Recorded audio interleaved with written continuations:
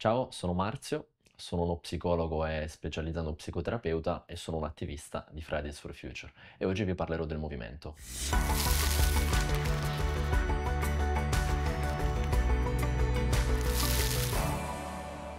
Il movimento nasce nel 2019 in seguito alle azioni di Greta Thunberg, uh, giovane svedese che per ogni venerdì, dall'agosto del 2018, appunto da lì deriva il nome Fridays, Fridays for Future, venerdì per il futuro, scende ogni venerdì in piazza di fronte al Parlamento svedese con un cartello, sciopero per il clima. E da lì in pochi mesi si struttura un movimento internazionale e nazionale, quindi anche qua in Italia, dove si organizzano uh, delle manifestazioni dei cortei uh, molto imponenti con una grandissima partecipazione di pubblico, persone, comunità. E questo è anche un po' il tratto distintivo di Fridays for Future, il fatto di scendere in piazza e organizzare cortei inclusivi per la popolazione, per sensibilizzare sicuramente in primo luogo rispetto alla crisi climatica e a tutte le azioni che a livello singolo collettivo e gruppo sociale possiamo intraprendere per contrastare la crisi climatica e per mettere pressione alla politica per agire contro la crisi climatica. Abbiamo nel corso degli anni anche strutturato, ideato, pensato a diverse soluzioni. Una di queste è sicuramente Agenda Climatica, che si può trovare sul nostro sito, che pone in cinque punti alcune delle soluzioni che secondo noi sono le più efficaci per contrastare la crisi climatica, declinate nel contesto, nel territorio italiano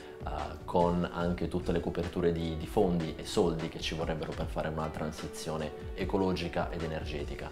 È complicatissimo, ma è necessario farla. Per questo anche abbiamo da subito aderito a Rewriters, al manifesto di Rewriters. Ci troviamo molto vicini a tutti i valori eh, che, che, sono promulgati. Quindi occupandoci di ecologia, di giovani e di intersezionalità, sia rispetto all'età sia rispetto ai temi, ecco, non solo dobbiamo ripensarci come comunità, non più come individui, ma come comunità che agisce e ha un impatto sul territorio. Ha un impatto quindi non solo poi sulle nostre città, sulle nostre regioni, sulla nostra nazione, paese, ma anche poi trasversalmente a tutto il pianeta, perché siamo tutti e tutte su questo pianeta e la crisi climatica ci riguarda. E quindi come Fridays noi crediamo che tramite un'azione collettiva eh, di pressione verso la politica e di azioni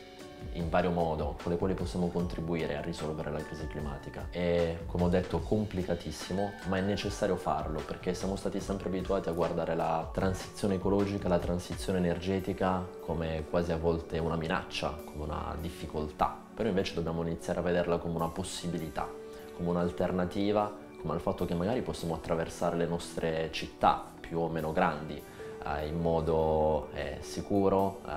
senza inquinamento, senza smog, con i trasporti pubblici eh, magari gratuiti per le fasce meno ambienti che ci portino da una parte all'altra della città,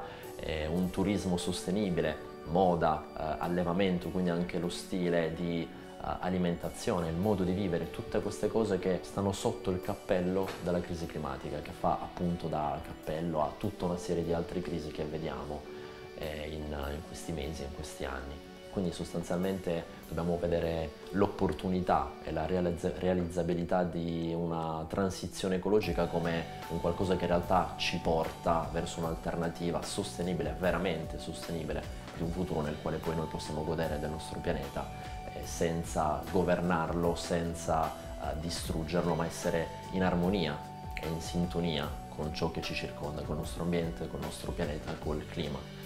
vediamo sempre di più uh, surriscaldarsi, lo proviamo sulla nostra pelle e ne vediamo già gli effetti anche nocivi. Da gennaio uh, in Sicilia oltre 100 comuni sono in emergenza idrica, a Barcellona praticamente dietro casa, dietro l'angolo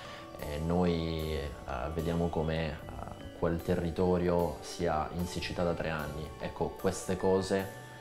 ancora le stiamo vivendo di meno nel nostro territorio. In altre parti del mondo che sono nemmeno responsabili per uh, la crisi climatica già subiscono gli effetti peggiori di questa crisi. Ciò che noi vediamo, alluvioni, frane, eh, inondazioni, danni da miliardi di euro, dollari che fanno già uh, morire le persone, ecco, tutte queste cose potremmo vederle nel breve e medio futuro anche nel nostro paese, anche nel nostro continente, sempre di più, come già abbiamo visto negli scorsi mesi. Perciò per questo bisogna agire per la transizione ecologica ed energetica, non solo per proteggere il pianeta, ma anche per vederlo come un'opportunità di una migliore vita, di, una, uh, di un migliore pianeta col quale possiamo essere in sintonia e vivere davvero bene, davvero in modo sostenibile. Rewriters. La tua voce per un mondo migliore.